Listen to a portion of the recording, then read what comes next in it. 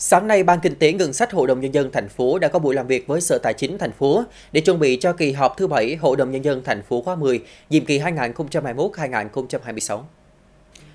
6 tháng đầu năm, tổng thu ngân sách nhà nước đã đạt 68% dự toán giàu với hơn 13.356 tỷ đồng, trong đó thu nội địa đạt hơn 10.405 tỷ đồng.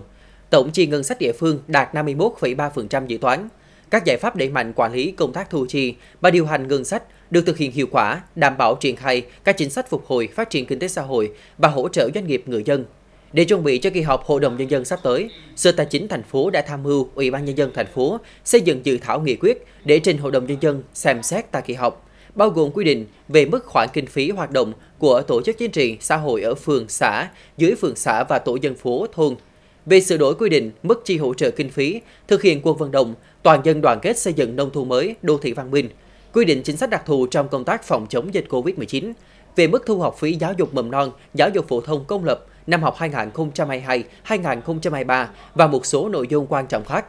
Các vấn đề liên quan đến nhiệm vụ của ngành tài chính và các nội dung chuẩn bị trình tại kỳ họp đã được Ban Kinh tế Ngân sách trao đổi cụ thể tại buổi làm việc.